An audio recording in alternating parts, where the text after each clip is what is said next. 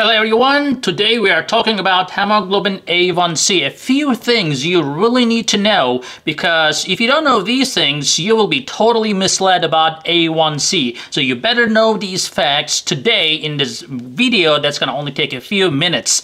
So remember to subscribe, give a thumbs up and share this video if you like this. And remember, knowledge is the power. I'm Dr. Ahmed Ergin. I'm an endocrinologist and a diabetes expert, and today we're talking about hemoglobin A1C.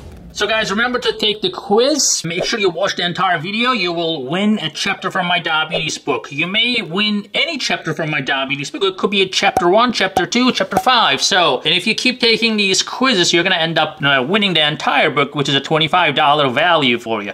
So, let's get started. So guys, if you watched my previous A1C videos, just like this one, or that one, or this one. We make A1C videos. Why? Because A1C is the most important test in diabetes. And that is the test that you always discuss with your doctor. So when your doctor says to you, your A1C is 9%, and you're like, okay, so what? because you don't know what it is, right? Or your, your, your doctor says, your A1C is 7%. You're like, yay, I'm down to 7. I'm like, okay, so what are you happy about? They're like, uh, I don't know, it's down from 9 to 7. Sounds good to me.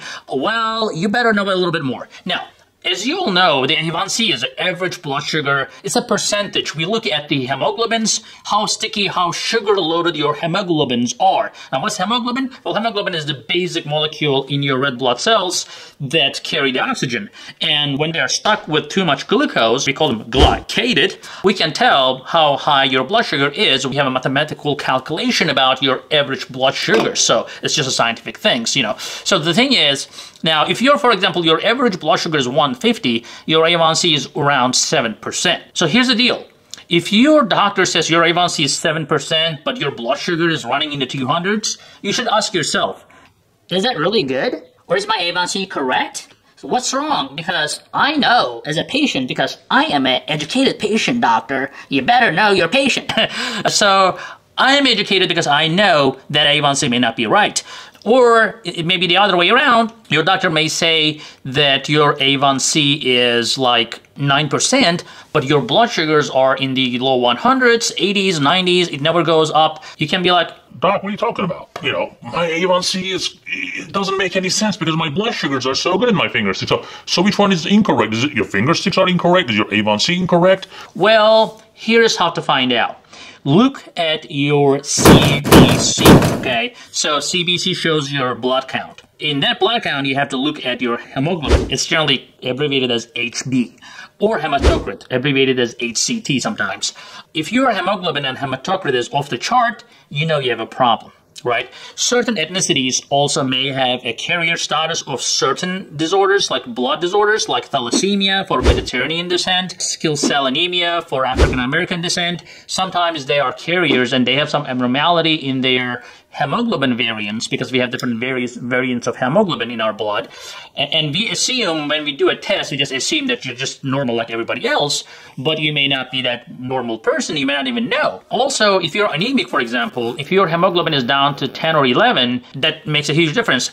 If you are treated versus untreated anemia, that also makes a huge difference. So, so what difference does it make? So if you are anemic, right, so your body is not really making new cells, new red blood cells, new hemoglobin, so your majority of your red blood cells are full of the old ones. Now what happens when you get old? You carry a lot of stuff, you know, you accumulate a lot of stuff.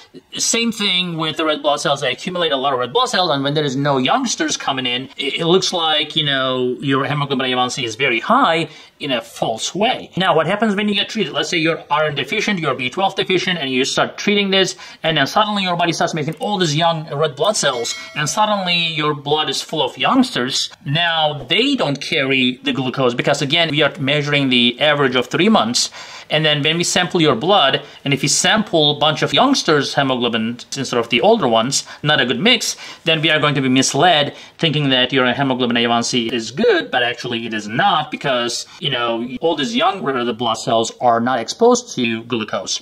So we are assuming when we test you that you have a regular 120 day cycle of every red blood cell. But again, if you're anemic and your cells do not have an average of 120 days, then you will have falsely high or falsely low numbers. So If that's the case, you always question and discuss with your doctor. Hemoglobin A1C may not be the best test for you if that is the case. So what are the other tests? Well, there are other tests you can use after discussing with your doctor, such as fructosamine, such as glycomark, and there's some other like tests that are out there depending on the country you're in. But the, in the United States, we mostly use fructosamine and, and glycomark. Glycomark test you cannot use if you're on SGLT2 inhibitor, such as Jardiance, Farxiga, or Invokana type of drug. But fructosamine can show your last two to three week blood sugar spikes, and that may be helpful as well. I know a lot of insurance companies are judging you, or your doctor, or your doctor is judging you. Everybody's judging everybody, right? You should have a quotation or notation in your chart saying that this patient's A1C is not valid because of this, this, and this. So I hope this was helpful, guys. Remember to take the quiz, and it's in the description below. Check it out, and we will see you in the next video. And before that, give a thumbs up, share, and like this video, guys. Talk to you later. Hey guys, I hope you're enjoying this channel so far and I hope you subscribed already. If you didn't, do it. And if you did, watch this video right there. I think that will help you too.